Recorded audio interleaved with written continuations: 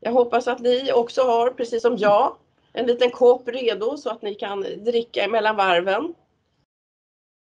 Ehm, det är ju så att vi, har, vi startar vårt regionvalsarbete med det här frukostseminariet. Och det här är första seminariet och vi kommer att bjuda in representanter ifrån alla era partier till flera seminarier. Så att det här är en liten start, en liten kick-off kan man säga. Och dagen idag är ju då internationella funktionsrättsdagen. Som tidigare kan vi väl nämna hette internationella handikappdagen men som ni vet handikapp finns idag bara i golf. Och handikappdagen den instiftades 1992. Och så gammalt är det. Nästa år är det alltså jubileum. Precis. Och mitt namn är Annika Hessler och jag är ordförande i Funktionsrätt Stockholms län som är en paraplyorganisation för 44 föreningar och vi representerar snart 100 000 medlemmar om man rundar av uppåt. Eh, och vid min sida har jag Lennart Håsa, andre vice ordförande i Funktionsrätt Stockholms län.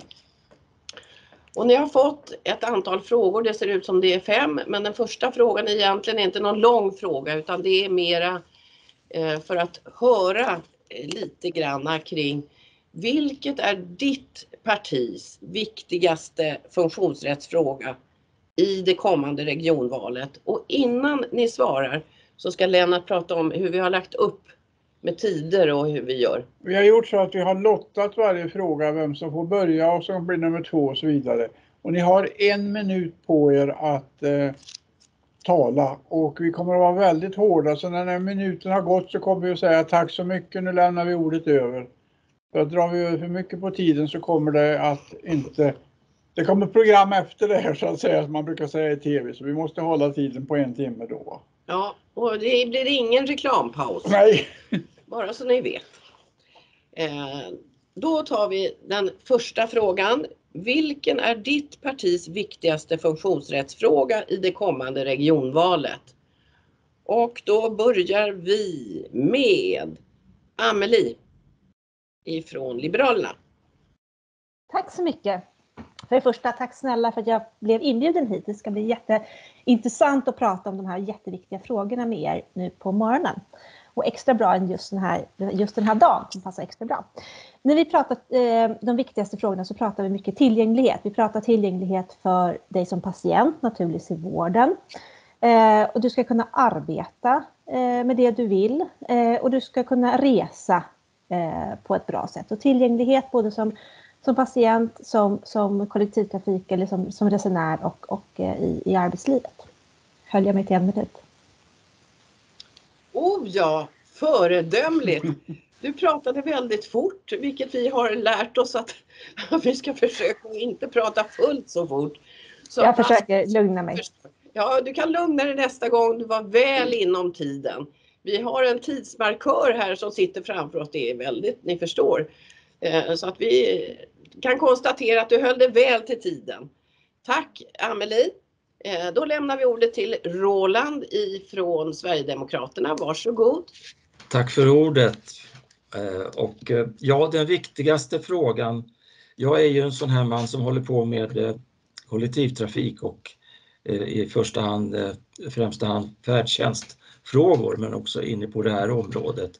Den viktigaste frågan är inte helt lätt att plocka ut och alla typer av funktionsvariationer är ju en utmaning. Men vi ser ju allvarligt på de synskadades problem och de svårigheter som de ställs inför i samband med att samhället blir mer komplext och minst sagt rörigt och farligt att röra sig i om man tittar speciellt i storstäderna snabba cyklister, skotrar och tysta elfordon inte minst. Och i samband med det också eh, har man ju hört en del eh, i media att man får avslag på färdtjänstresor och det tycker vi, ser vi som väldigt besvärande. Eh, och olika funktionsvariationer möter ju såklart olika problem i vardagen. Och, och sjukvården är också väldigt viktigt att det finns, att man har tillgänglighet som föregående talare pratade om. Det är väl den viktigaste biten. Och, och för många är färdtjänsten viktigt för att problem med svenska till exempel är också ett problem. Tack snälla Roland. Tog över lite där. Ja, det är bra. Du får tillfälle att återkomma just i färdtjänstfrågan som bekant. Då lämnar jag ordet till Lars Rodén, Moderaterna. Varsågod. Tack så mycket. Ska vara kärnfull, men jag vill också tacka så mycket för att jag är inbjuden. Jag tycker också att det är kul att träffa er. Jag tillträdde ju för ett år sedan som gruppledare. Jag tror vi har haft två sådana formella dialoger. Jag tycker alltid att ni har ett professionellt, seriöst och konstruktivt sätt att möta oss på som gör att vi blir klokare när vi möter er och det uppskattas väldigt mycket och gör det enklare för oss att göra ett bra arbete. Tittar man på frågan skulle jag säga så här att människor med funktionsnedsättning ska inte hamna i utanförskap och det gäller ju både liksom arbetsmarknad, fritid, fysisk aktivitet och samhället i stort. Det är en viktig sak för oss. Då tänker jag ur Region Stockholms perspektiv där är det därför jätteviktigt att de insatser som hälso och sjukvården ger ska vara av hög kvalitet och vi ska korta väntetider inom dem. I landet finns många exempel på att man får vänta i år på den hjälp som man verkligen behöver och har rätt till. Och i Region Stockholm, i min bok, så ska det aldrig vara så att vi hamnar där. Och de brister vi har ska vi hantera, för rätt vård ska man få i rätt tid. Så det tycker jag är ett viktigt signum och liksom ett kvalitetsmärke som ska finnas i Stockholm. Och en god servicebemötande ska ju självklart även prägla andra tjänster som regionen erbjuder, även inte minst färdtjänsten också. Men jag tycker någonstans att den vård man har rätt till ska också erbjudas med hög kvalitet och kort väntetid. Det tycker jag är den viktigaste saken för oss i Region Stockholm att erbjuda. Tack så mycket. Då lämnar jag ordet till Petra från Socialdemokraterna. Tack. Vilken bra fråga och kul att vara med här idag.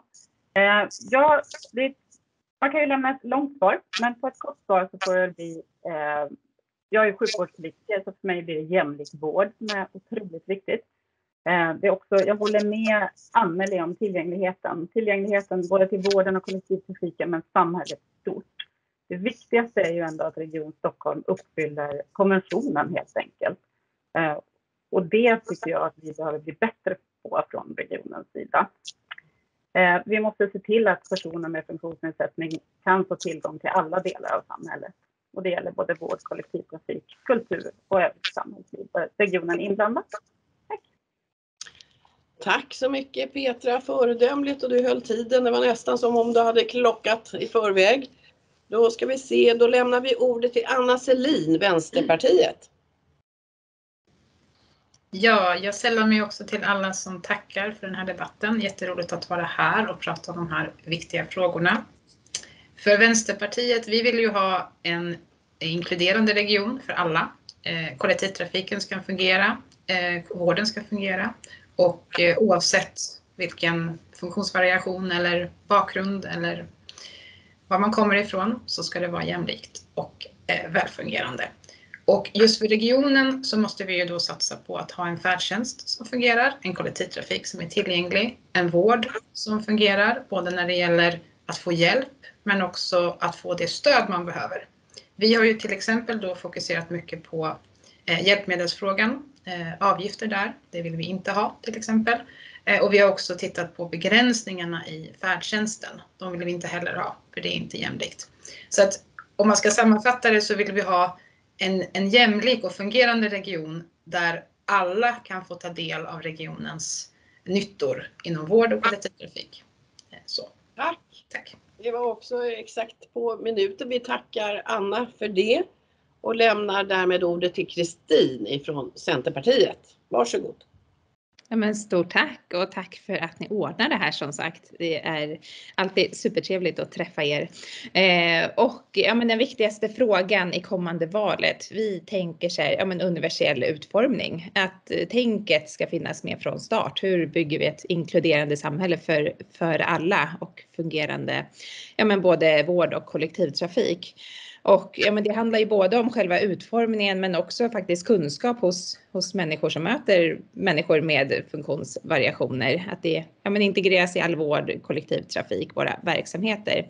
För vi tänker ju att det här, ja, men känna sig utstängd ur samhället bidrar ju till att, att öka känslan av, av utanförskap. Och är det otillgängligt så deltar man inte i kulturlivet eller andra aktiviteter på, på samma sätt. Och det bidrar ju till, till många saker, bland annat en sämre folkhälsa.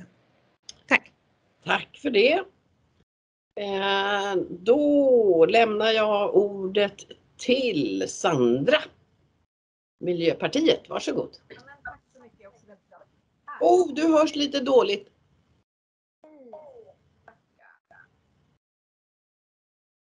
Ibland kan det löna sig att koppla bort headset. Eh, bättre nu?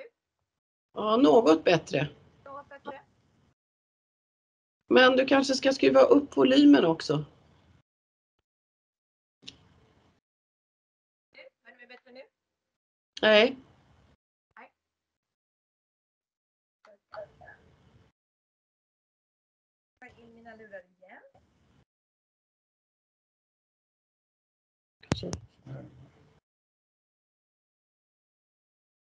Så är alla sladdar inkopplade. Får vi se. Du får ett nytt försök. Varsågod. Är det bättre? Ja. Ja, det- men... eh, Ja, det hörs väldigt dåligt. Sandra, vet du vad? Du får jobba på det där och så lämnar vi istället ordet vidare till Fredrik Wallén. Vi gör som på TV. Du får en liten paus, fippla med tekniken och så får Fredrik Wallén ifrån Kristdemokraterna istället ta vid och så återkommer vi till Sandra. Varsågod Fredrik.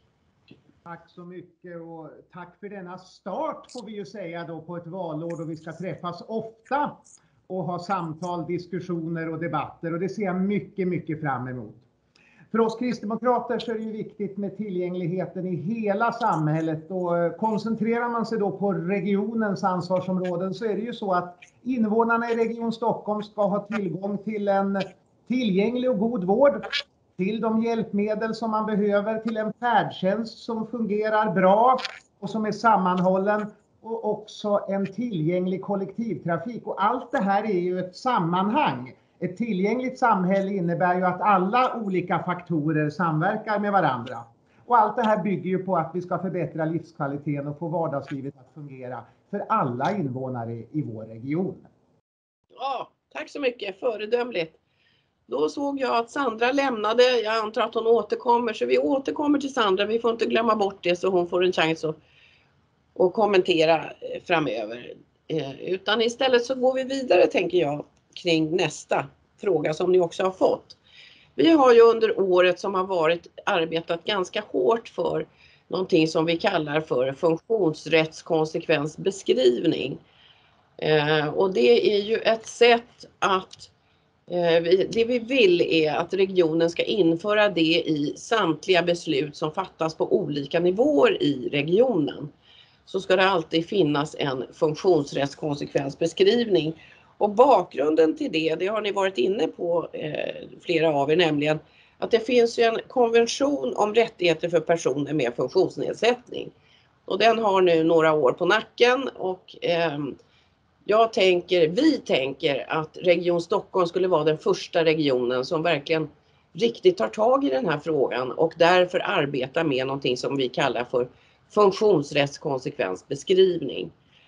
Eh, om man gör det inför varje beslut så riskerar man inte att kränka mänskliga rättigheter och eh, man riskerar inte att exkludera personer. Jag vet att flera av er, både Roland och Petra var inne på det, att alla måste kunna ta del. Eh, och det är eh, det som vi jobbar för. Eh, och då tänker jag så här att nu går frågan till varje parti eh, och frågan lyder, vad gör ni i ert parti för att FKB ska införas som ett arbetssätt i regionen? Och nu gäller det svara med högst 10 ord och det har ni fått information om innan. Så jag hoppas att ni kan begränsa er och nu läser jag upp. Då går frågan först till Lars Rodén, Moderaterna.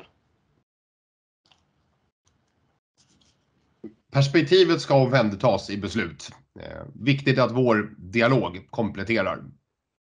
Det var tio. Tack så mycket.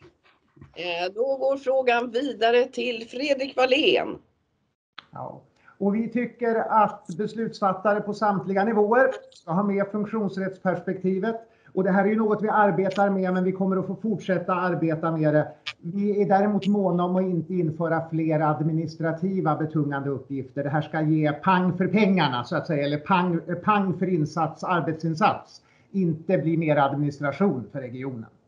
Pang för pengarna, det är vår melodi. Därmed lämnar jag ordet till Roland ifrån Sverigedemokraterna. Varsågod Roland. Ja, tack för ordet och jag fyller väl i vad de andra sa att det var en kul, kul det här sammanslutning.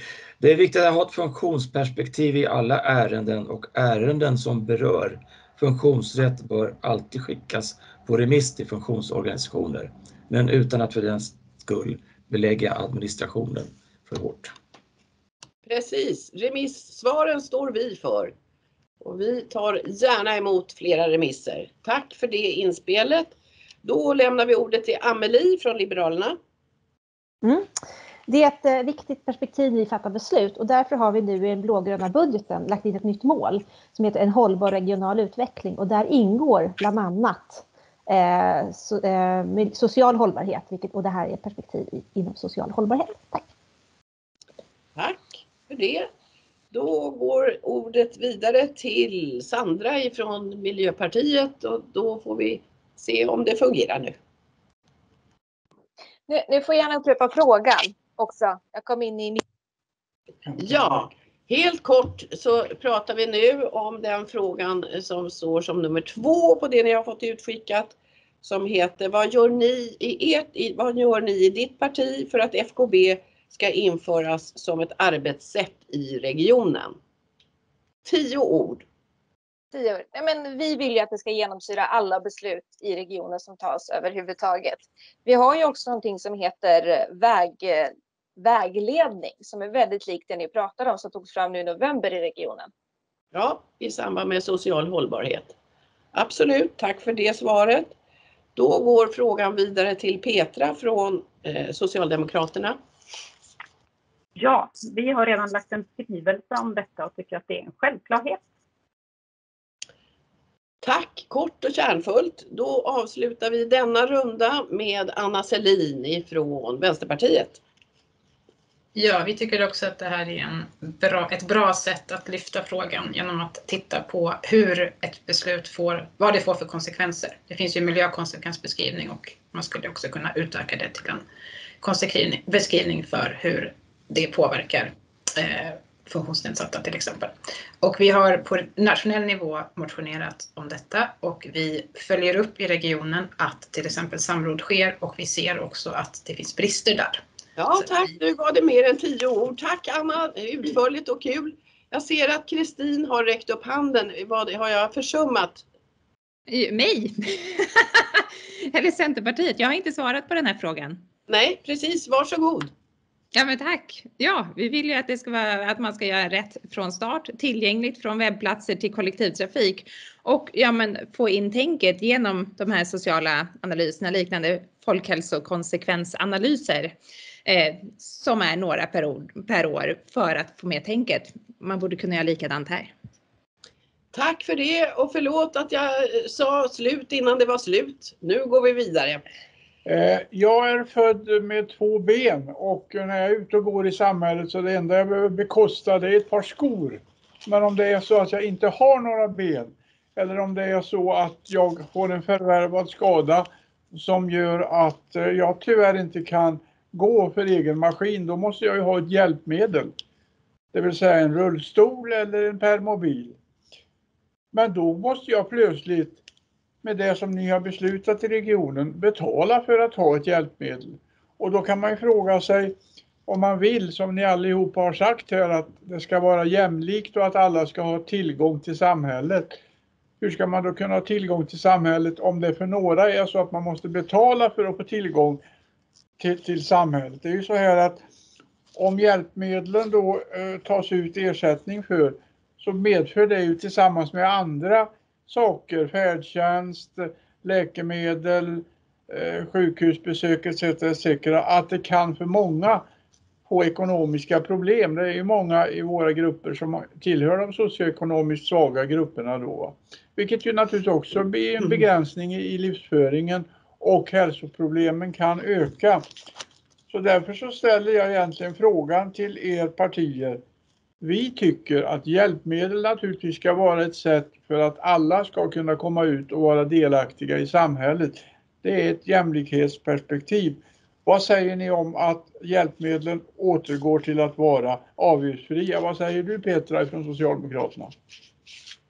Oj, den var inte beredd på att börja. Eh, ja, alltså vi vill ju återinföra högkostnadsskyddet som fanns, som togs bort. Eh, för det är precis som du säger, det är viktigt att det är en jämlik förskrivning, att, att man har från regionens sida mer kontroll över de hjälpmedel som förskrivs och att kedjan blir tydligare både med arbetsterapeuter och liknande, att man får mer stöd för hjälpmedel. Vi vill också att det ska vara ett bra utbud så att det finns, att man inte snävar in på utbudet för mycket. För man kan ju behöva olika typer av hjälpmedel. Även om man har en kateter behöver inte betyda att man kan använda samma kateter oavsett person, utan man behöver olika sorter på samma sak.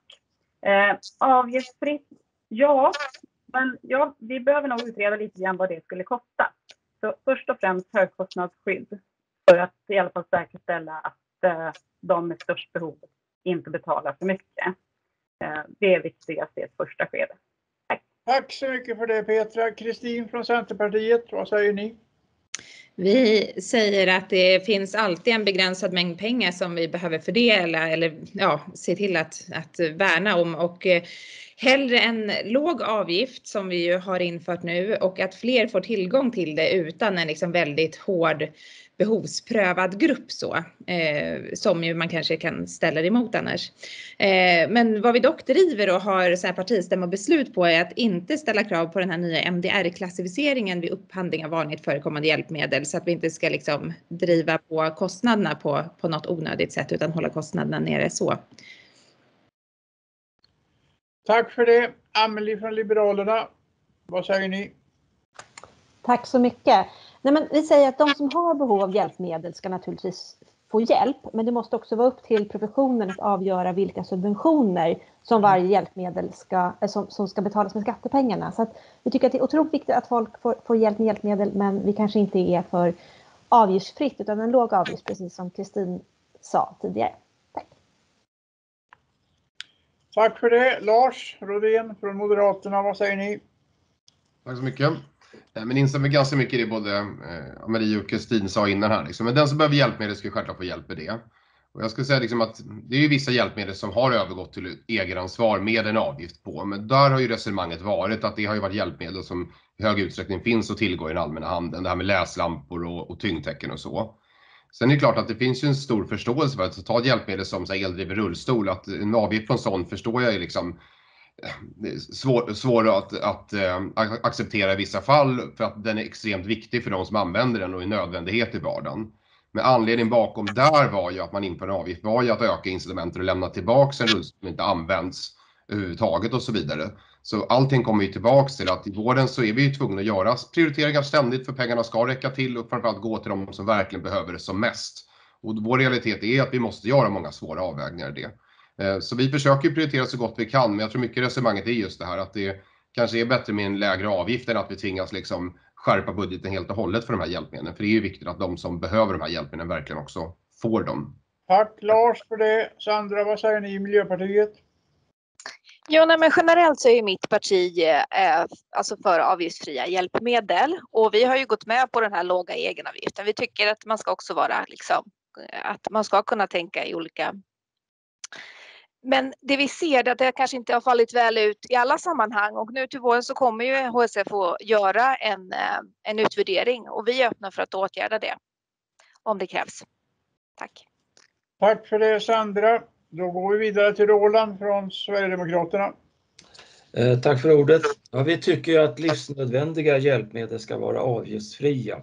Det vill säga man ska kunna delta i samhället på alla nivåer. Även med ett funktionshinder utan att drabbas av ekonomiska hinder.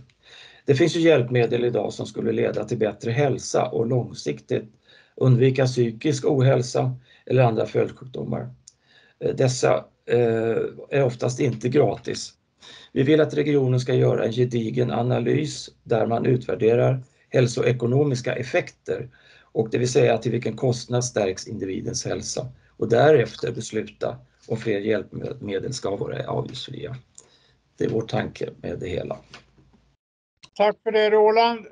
Vad säger du Fredrik från Kristdemokraterna?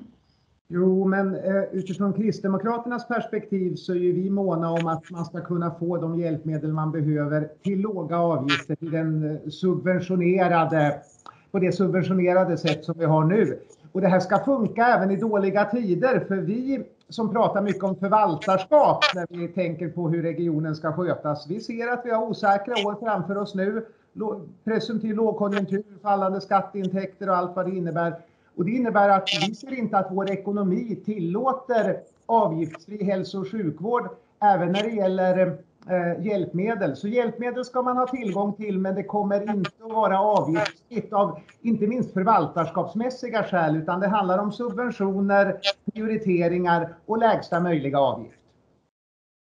Tack för det och sista ordet i den här frågan går till Vänsterpartiets Anna, varsågod.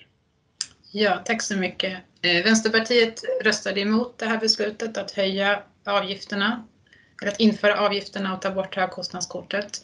Och vi kommer fortsatt driva den frågan. Vi har också kritiserat eh, regionstyret för att inte ha gjort en konsekvensbeskrivning innan beslut. Vi tycker att det är en konstig ordning. Först ta beslut och sen göra en analys vad det här får för konsekvenser. Och vi ser det som en rättighet att eh, kunna ha ett hjälpmedel fritt subventionerat för att kunna fungera i vardagen. Och vi tror att kostnaderna blir större eh, samhällsekonomiskt om man tar bort den här möjligheten att ha ett avgiftsfritt hjälpmedel. Tack. Tack Anna. Tack. Eh, det är väldigt intressant att höra era synpunkter för det anknyter så tydligt till det vi var inne på tidigare, nämligen FKB. För om man gör en funktionsrättskonsekvensbeskrivning innan man fattar den här typen av beslut så har man ju det gratis att man har eh, från början tagit ställning till vilka konsekvenser detta betyder, ett sådant beslut betyder. Men eh, så tack så länge för det. Vi kommer att återkomma i frågan självklart. För den har stor betydelse för många i våra grupper. Då eh, tänker jag att vi går vidare och nu ska vi prata om jämlikt resande. Färdtjänst och ni har varit inne på det flera stycken. Det är ju bland annat eh, Fredrik Wallén som har det som hjärtefråga och även Roland, ja ni är flera förstås.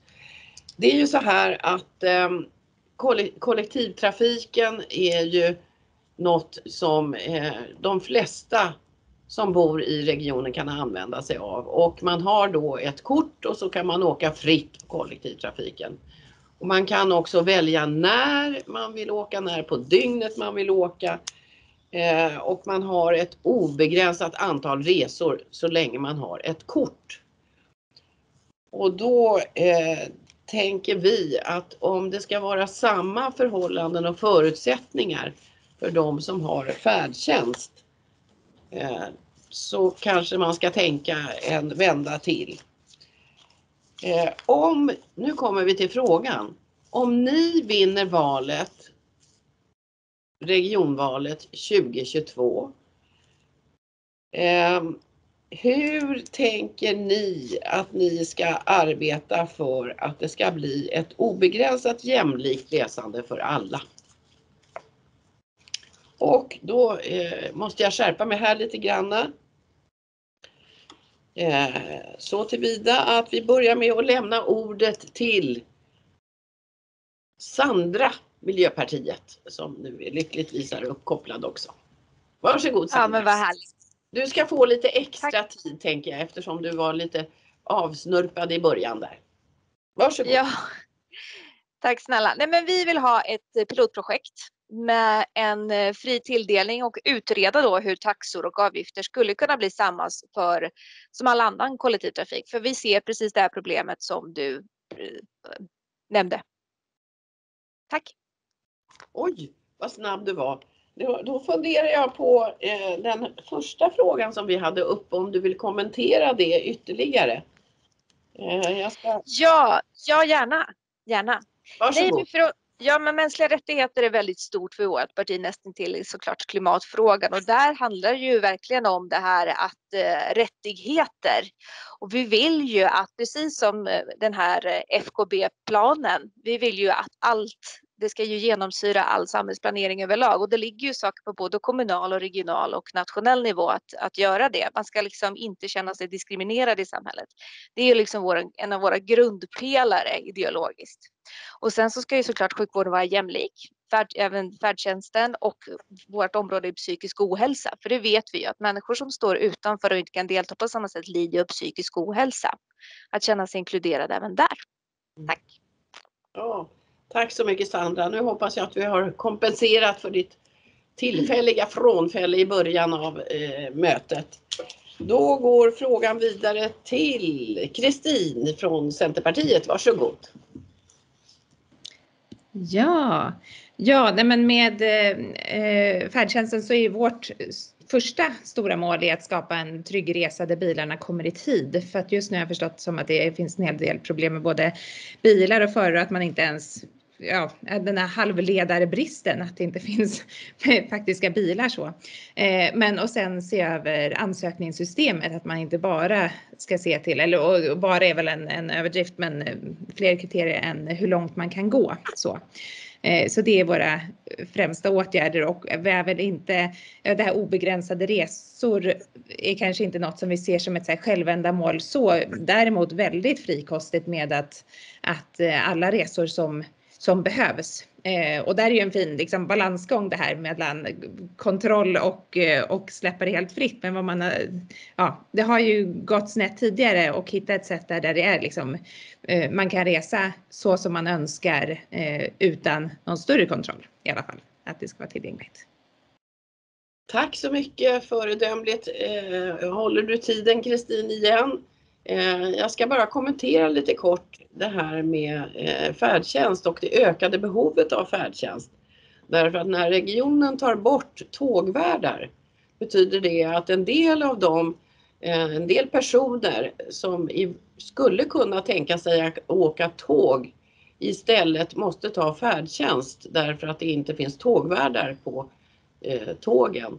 Så att det hänger ihop och det här måste man också fundera över och där är det igen så att jag påminner om FKB att om man gör en analys och tänker till ur ett funktionsrättsperspektiv redan innan man fattar ett beslut så blir det betydligt lättare att eh, förhindra att kostnaderna skenar någon annanstans. För det man spar på gungorna det tar man kanske inte alltid igen på karusellen. Och med detta lämnar jag över till Fredrik Wallén, varsågod. Tack så mycket och just färdtjänstfrågorna är ju det som jag primärt jobbar med varje dag och då är det ju mycket den konkreta verksamheten. Och när vi vinner valet 2022 så är ju vi stolta över att kunna få fortsätta då utveckla färdtjänst och även sjukreseverksamheten i Region Stockholm. Men inom, som jag kan se det, det system som vi har nu med en grundtilldelning av resor, eh, arbetsresor, eh, studieresor och sådana saker kompletterat till det. Men få ett system som håller ihop för att resorna ska kunna gå i tid och i övrigt hålla en god kvalitet. Och här finns det många utmaningar. Just nu jobbar vi väldigt mycket på att få resorna att gå i tid inom det väldigt omfattande system vi har. Där det ju bland annat då just för att eh, gifta samman den allmänna kollektivtrafiken och den särskilda Eh, persontransportverksamheten så mycket som möjligt ju är, är så att man ju åker fritt när man kan och om man vill i eh, det allmänna kollektivtrafiksystemet också på sitt färdtjänstbevis. Och hela det här systemet ska vi utveckla och vi har ju faktiskt för avsikt att höja grundtilldelningen något.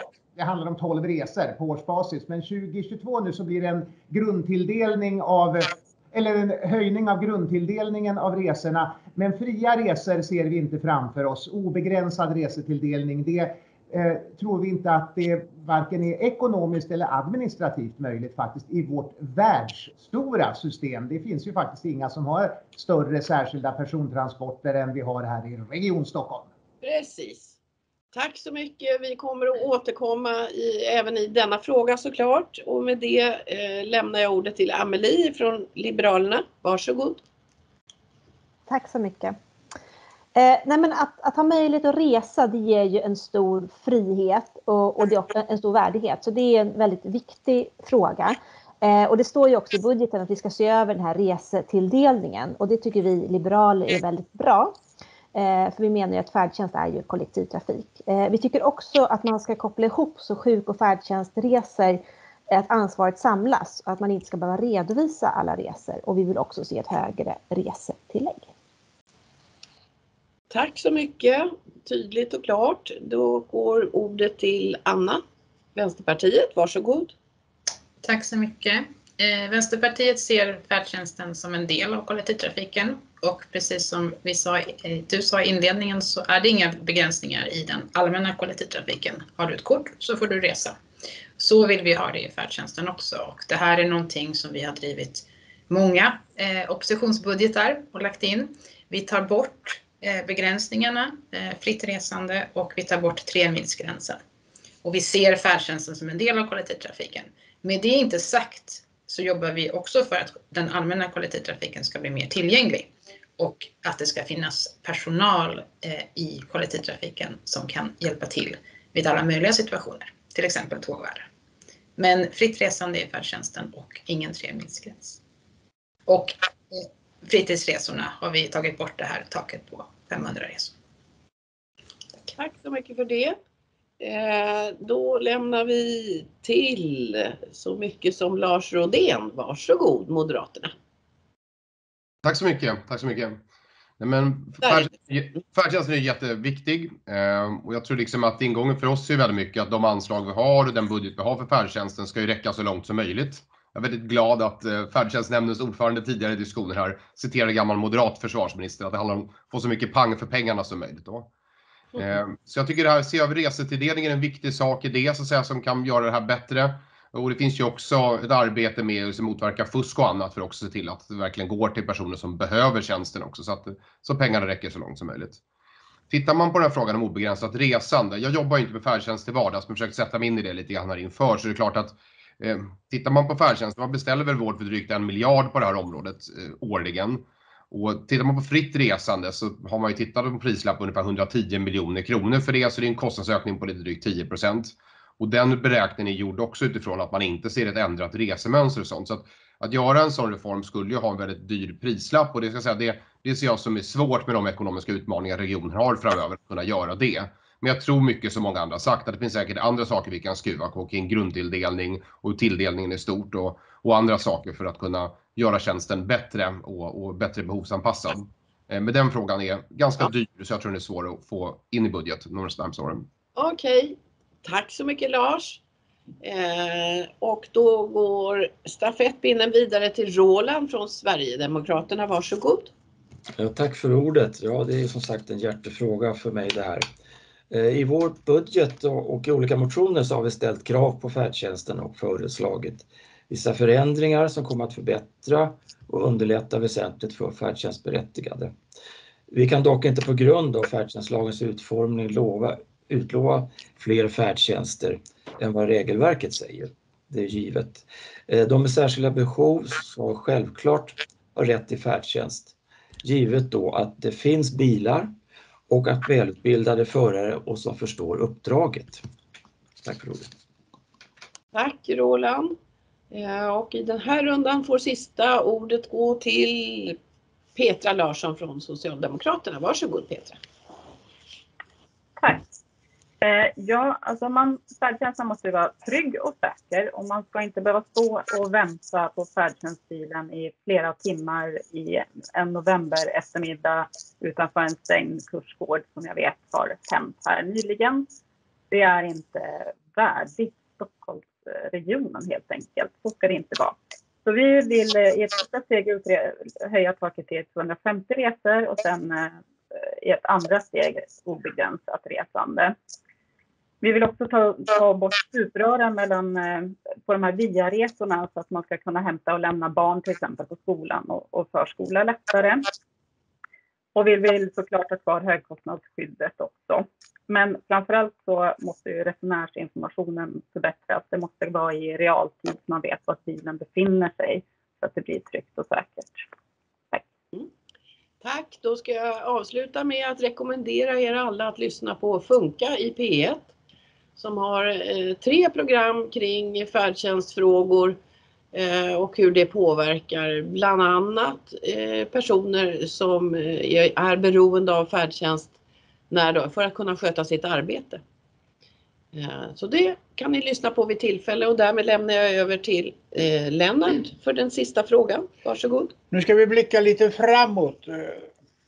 Det är på det här sättet att läkemedelskostnaderna ökar, medicintekniska kostnader ökar och även övriga kostnader ökar inom hälso och sjukvården.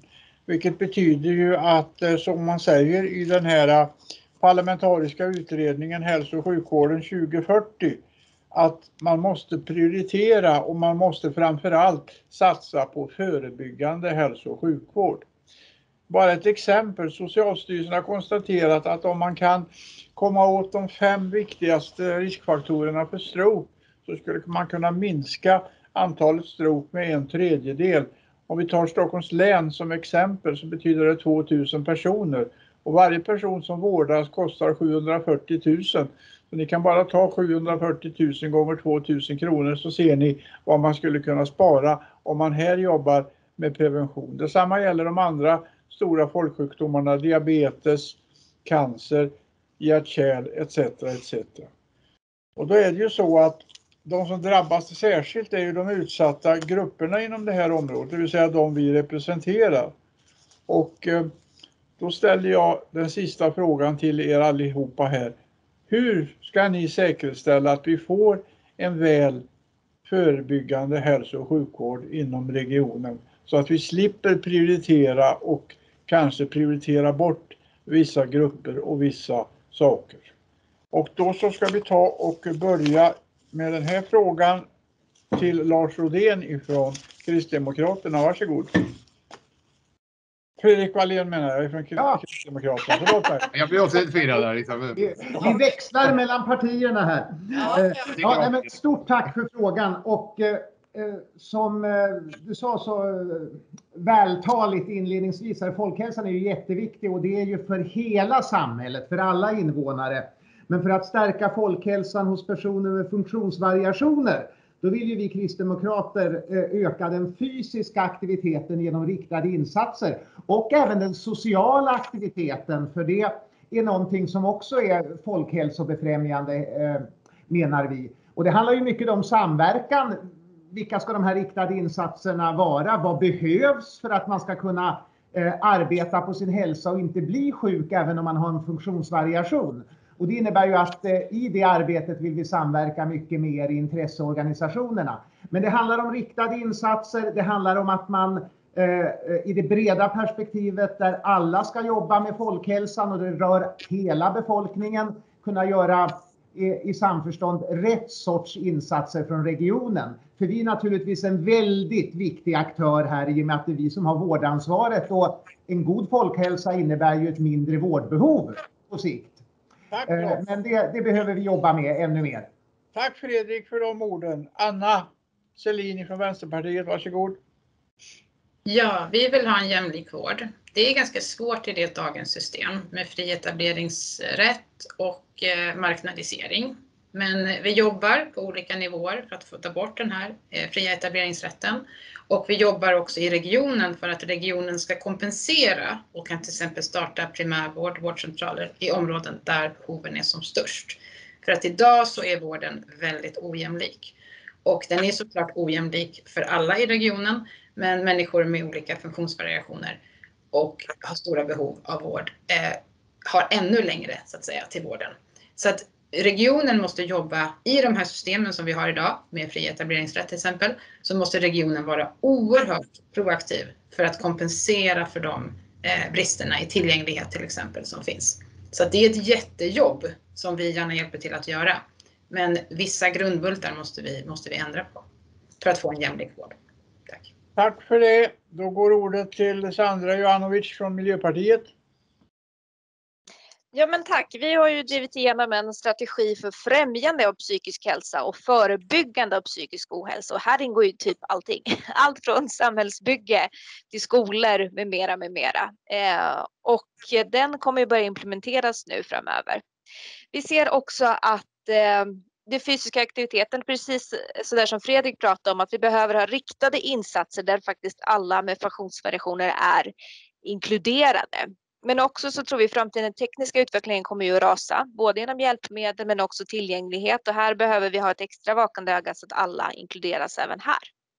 Tack. Tack så mycket för det. Petra Larsson, Socialdemokraterna, varsågod.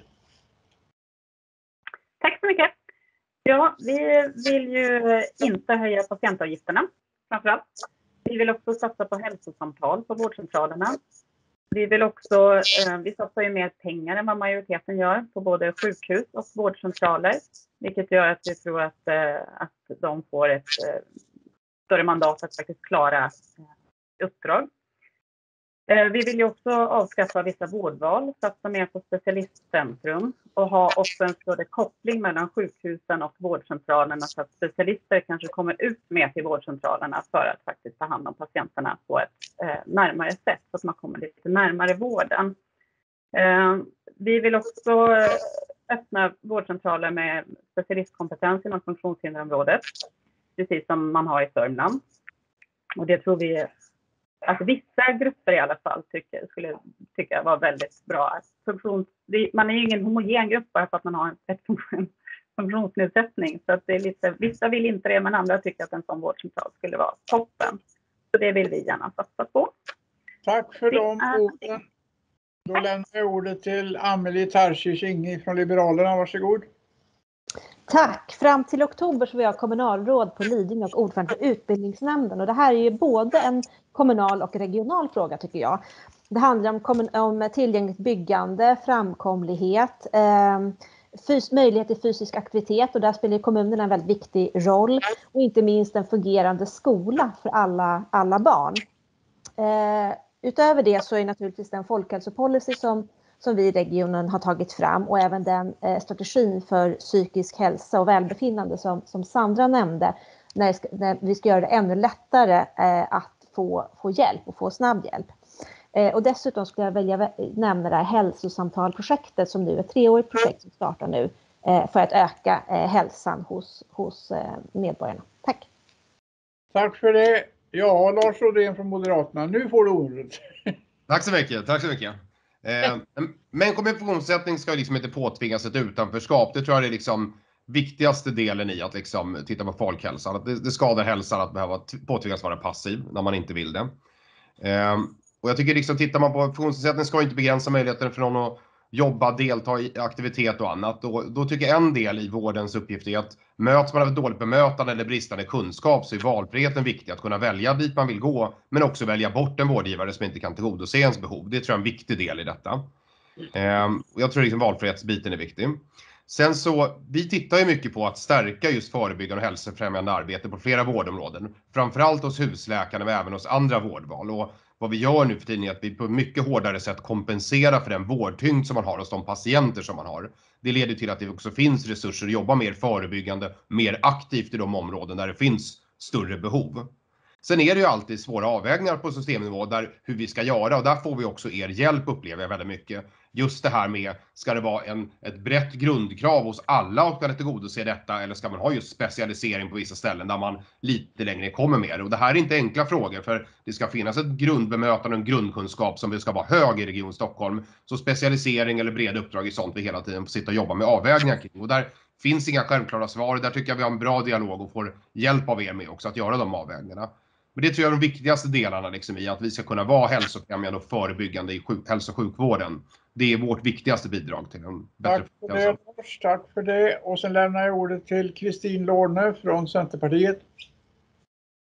Men stort tack! Och om jag har hållit tiden tidigare så får ni nog passa lite på mig nu eftersom jag är ordförande i Folkhälsoberedningen. Så det här, det här är ju, brinner jag ju verkligen för. Ja, och det här, igen, det här att känna sig utstängd ur samhället, det ökar ju känslan av utanförskap. Är det otillgängligt, då deltar man inte i aktiviteter på samma sätt. Är man rädd för att gå ut för att man ja, men blir påcyklad eller rädd att bli påkörd av elsparkcyklar, ja men då vågar man inte komma ut och ens promenera. Så att de här trösklarna som liksom finns för alla människor att leva hälsosamma levnadsvanor, de blir oftast ännu högre för dem med olika funktions, ja i det fallet funktionsnedsättningar. Eh, och, ja, men, och där tänker jag att vi måste se över utbudet av de hjälpmedel vi erbjuder så att fler hjälpmedel som är sådana som liksom uppmuntrar till, till rörelse, till exempel olika former av cyklar som finns. Eh, att i all samhällsplanering ta hänsyn till hälsomässiga effekter oavsett funktionsvariation. Eh, en kommunal fråga men att se över att våra naturreservat faktiskt tillgängliggörs för alla. För det vet vi att naturen och, och, och gröna ytor skapar liksom återhämtning.